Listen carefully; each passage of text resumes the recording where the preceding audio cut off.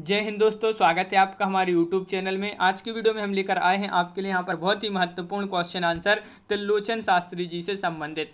Video पूरा अवश्य देखना है। अगर आप चैनल पर पहली बार आए हैं तो चैनल को सब्सक्राइब कर लें वीडियो को लाइक कर लें और ज़्यादा से ज़्यादा वीडियो को शेयर करें ताकि अन्य लोग भी यह वीडियो देख सकें। तो यहाँ पर आपके लिए बता दें कि सेल्फ स्टडी क्लासेस ऐप लेकर आया है। हिंदी साहित्य का संपूर्ण कोर्स जिसमें हिंदी साहित्य का जो संपूर्ण कोर्स है, हिंदी साहित्य की टेस्ट सीरीज़ है।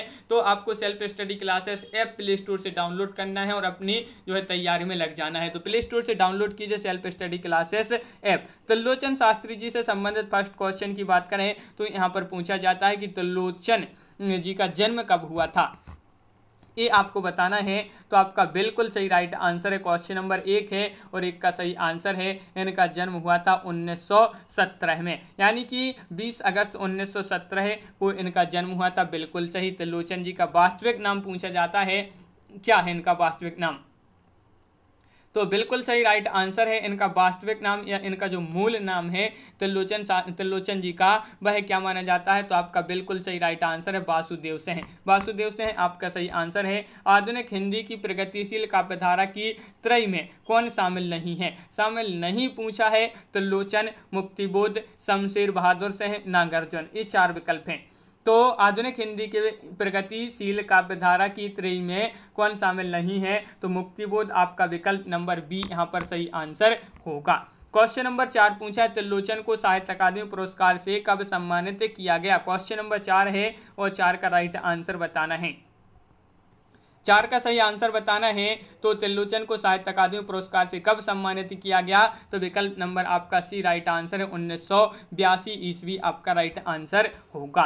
तिल्लोचन को किस रचना के लिए साहित्य अकादमी पुरस्कार से सम्मानित किया गया था? वह रचना आपको बताना है कौन सी वह रचना है? चार विकल्प आपके यहाँ पर दिए गए हैं और क्वेश्चन नंबर पाँच पूछा है। पाँच का सही आंसर बताना है। तो तिल्लोचन जी के लिए किस रचना के लिए जो है साहित्य अकादमी पुरस्कार से सम्मानित किया गया? तो ताप के ताए, ताए हुए दिन ऑप्शन ए जो है आपका सही आंसर होगा। विकल्प नंबर यहाँ पर बी राइट आंसर बिल्कुल सही, बहुत बढ़िया। अगला क्वेश्चन है, त्रिलोचन को सलाह का सम्मान से कब सम्मानित किया गया? ये महत्वपूर्ण क्वेश्चन है आपका। इनके लिए सलाह का सम्मान से कब सम्मानित किया गया? तो सभी लोग बताएँगे क्या होगा इसका सही आंसर चार विकल्प आपके यहाँ पर दिए गए हैं और क्वेश्चन नंबर छह का राइट आंसर है। 1980 ईस्वी विकल्प नंबर एक सही आंसर होगा। त्रिलोचन का प्रथम काव्य संग्रह माना जाता है। ताप के ताए हुए दिन, दिगंत, गुलाब और बुलबुल या धरती, ये चार विकल्प हैं। क्वेश्चन नंबर सात है और सात का राइट आंसर है आपका। इनका प्रथम काव्य संग्रह पूछा है तो धरती आपका राइट आंसर है, जिसका प्रकाशन 1945 ईस्वी माना जाता है। त्रिलोचन का गज़ल संग्रह माना जाता है। इनका गज़ल संग्रह पूछा है, ताप के ताए हुए दिन, दिगंत, धरती, गुलाब और बुलबुल। तो इनका गज़ल संग्रह पूछा है तो गज़ल संग्रह में हो जाएगा गुलाब और बुलबुल, यानी कि विकल्प number C, right answer. Question number नौ पूछा है कि हिंदी साहित्य के वह कवि जिन्होंने अंग्रेज़ी छंद अंग्रेज़ी सोनेट छंद को हिंदी प्रतिष्ठित किया, ये आपको यहाँ पर बताने, प्रतिष्ठापित किया, ये पूछा गया है कि हिंदी साहित्य के वह कवि जिन्होंने अंग्रेज़ी सोनेट छंद को हिंदी प्रतिष्ठापित किया तो आपका राइट आंसर है, वह कौन है? तो नौ का राइट आंसर है आपका विकल्प नंबर एक, यानी कि त्रिलोचन, आपका सही आंसर होगा। क्वेश्चन नंबर दस यहाँ पर क्या पूछा है? देखिए, ये रहा क्वेश्चन नंबर दस। कि त्रिलोचन ने यहाँ पर सोनेट छंद की रचना किस छंद के आधार पर की है? उल्लाला, रोला छप्पे कुंडलियाँ। तो क्वेश्चन नंबर दस है और दस का सही आंसर आपका यहाँ पर होगा। क्या होगा राइट आंसर सभी लोग बताएँगे, महत्वपूर्ण क्वेश्चन है और दस का राइट आंसर आपका यहाँ पर होगा। क्या है? तो विकल्प नंबर सी राइट आंसर है, यानी कि रोला छंद पर। तो लोचन ने सोनेट छंद की रचना रोला छंद के आधार पर की है। क्वेश्चन नंबर ग्यारह है, मुक्तिबोध की कविताएँ आलोचनात्मक रचना किसने लिखी है? तो लोचन, मुक्तिबोध, शमशेर बहादुर से है या नागार्जुन? क्वेश्चन नंबर ग्यारह है और ग्यारह का राइट आंसर है। तो लोचन आपका यहाँ पर बिल्कुल सही राइट आंसर है। विकल्प नंबर एक आपका सही आंसर होगा। क्वेश्चन नंबर बारह है। तो लोचन का कहानी संग्रह कौन सा माना जाता है? क्वेश्चन नंबर बारह का सभी लोग आंसर बताएँगे। क्वेश्चन नंबर बारह है, महत्वपूर्ण है और त्रिलोचन का कहानी संग्रह है। तो आपका बिल्कुल सही राइट आंसर है देशकाल। देशकाल इनका ये जो है, कहानी संग्रह माना जाता है। बिल्कुल सही महत्वपूर्ण क्वेश्चन आपसे यहाँ पर पूछा गया है। क्वेश्चन नंबर तेरह की बात करें त्रिलोचन ने काशी हिंदू विश्वविद्यालय से किस विषय से स्नातकोत्तर की उपाधि प्राप्त की है? इन्होंने अंग्रेज़ी से, हिंदी से, संस्कृत से या फिर उर्दू से आपके चार विकल्प दिए गए हैं। क्वेश्चन नंबर तेरह का राइट आंसर बताना है। तो अंग्रेज़ी आपका सही आंसर होगा। अगला क्वेश्चन है कि त्रिलोचन ने लाहौर विश्वविद्यालय से किस विषय से पीएचडी की उपाधि प्राप्त की है? हिंदी, संस्कृत, अंग्रेज़ी, उर्दू, ये चार विकल्प हैं।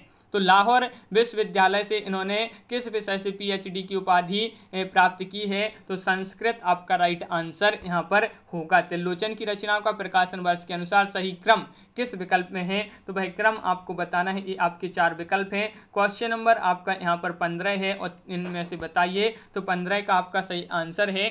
यहाँ पर बी राइट आंसर होगा। बी यानी कि धरती, गुलाब और बुलबुल ताप के ताए हुए दिन में उस जनपद का कवि हूँ। ये जो है आपका सही आंसर है। बिल्कुल सही। यहाँ पर देखिए इनका जो है रचनाओं का प्रकाशन वर्ष के अनुसार सही क्रम बिल्कुल सही राइट आंसर है बी आपका सही आंसर होगा।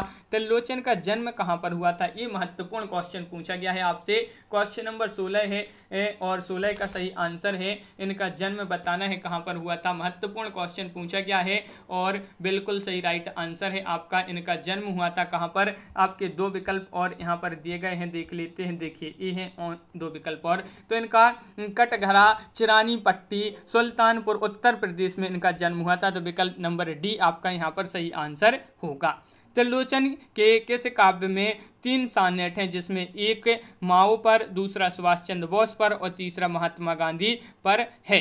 ये आपको बताना है तो आपका राइट आंसर है कि किस काव्य में तीन सोनेट हैं त्रिलोचन के तो शब्द आपका बिल्कुल सही राइट आंसर है, यानी कि विकल्प नंबर आपका एक राइट आंसर है, जिसका प्रकाशन माना जाता है 1980 अगला क्वेश्चन क्वेश्चन नंबर अपना अठारह है कि साम्यवाद के पथ में लीड किया करते हैं, मानवता का पोस्टर देखा लगे रैंक ने। उपरोक्त पंक्तियाँ त्रिलोचन के किस काव्य से ली गई हैं? ये पंक्तियाँ ली गई हैं त्रिलोचन जी के किस काव्य से ली गई क्वेश्चन नंबर अठारह है और आपका सही आंसर है। क्वेश्चन नंबर अठारह का विकल्प नंबर यहाँ पर क्या होगा सही आंसर तो सी राइट आंसर है। फूल नाम है एक। फूल नाम है एक। इस काव्य से पंक्तियाँ ली गई हैं।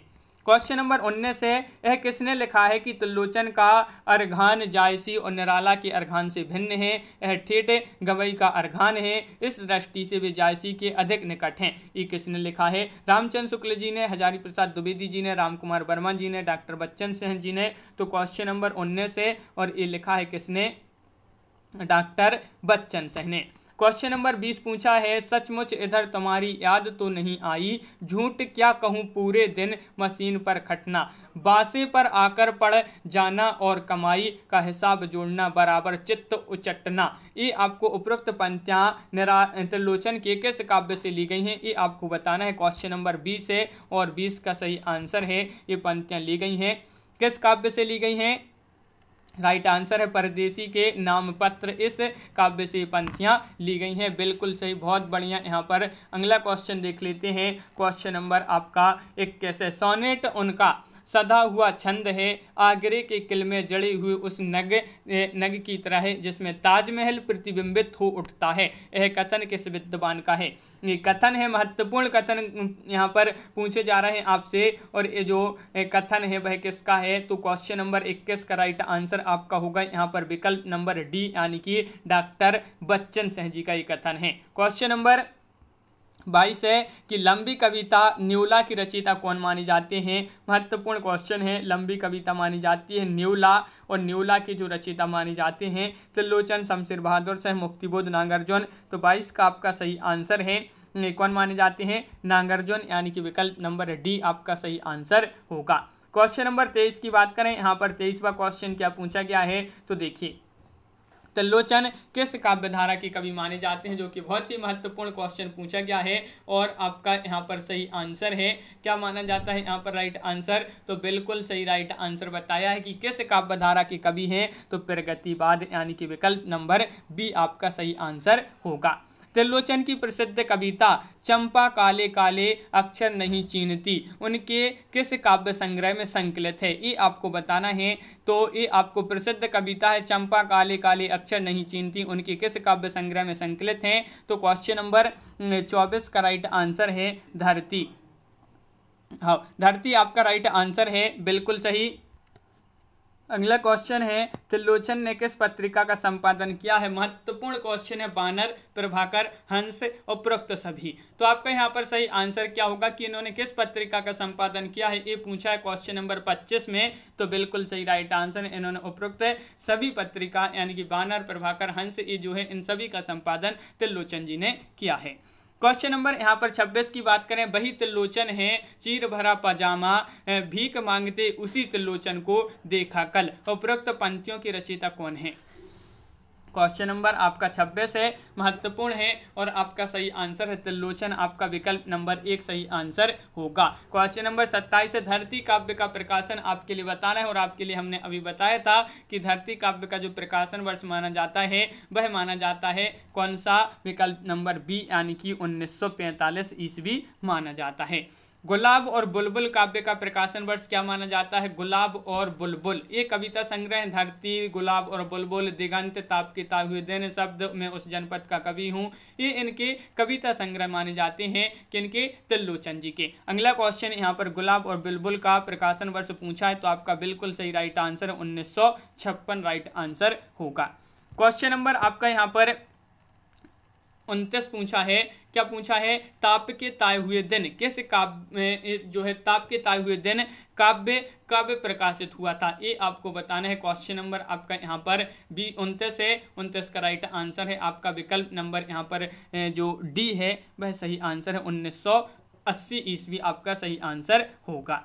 इनमें से कौन सा काव्य त्रिलोचन का नहीं है, नहीं पूछा है? तो देखिए तुम्हें सौंपता हूँ, या चैती, मेपल, या रोज़ाना मचा तो आपका यहाँ पर सही आंसर क्या होगा? तो देखिए, यहाँ पर आपका सही आंसर विकल्प नंबर सी, नहीं पूछा है। तो इनका काव्य त्रिलोचन जी का नहीं है, मेपल।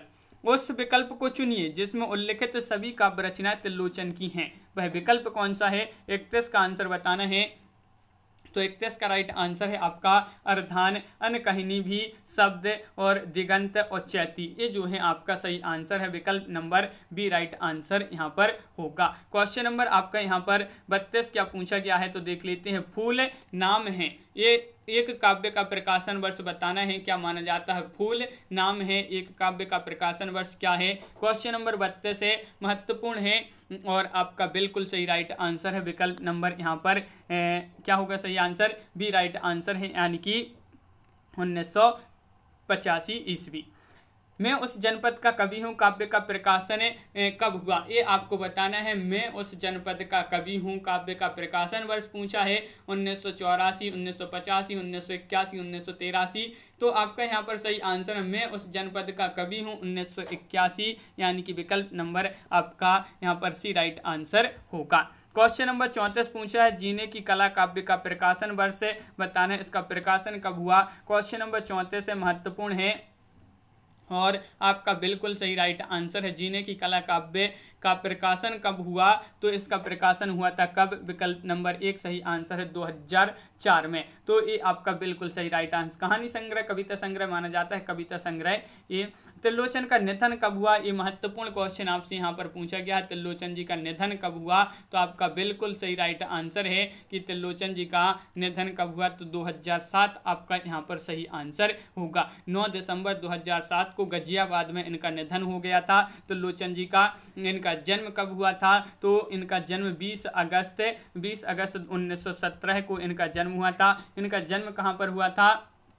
तो इनका जन्म हुआ था उत्तर प्रदेश के सुल्तानपुर ज़िले के कटघरा चिनानी मिट्टी। इनमें इनमें इनका जन्म हुआ था। इनका त्रिलोचन जी का त्रिलोचन जी का मूल नाम या वास्तविक नाम इनका था वासुदेव सिंह। तो यहाँ पर अपन ने देखे बहुत ही महत्वपूर्ण क्वेश्चन आंसर त्रिलोचन शास्त्री जी से संबंधित। कैसा लगा वीडियो कमेंट में ज़रूर बताएँ। अगर आप चैनल पर पहली बार आए तो चैनल को सब्सक्राइब कर लें, वीडियो को लाइक कर लें, ज़्यादा से ज़्यादा वीडियो को शेयर करें ताकि अन्य लोग भी यह वीडियो देख सकें। आज की वीडियो में बस इतना ही। सभी के लिए बहुत बहुत धन्यवाद। जय हिंद।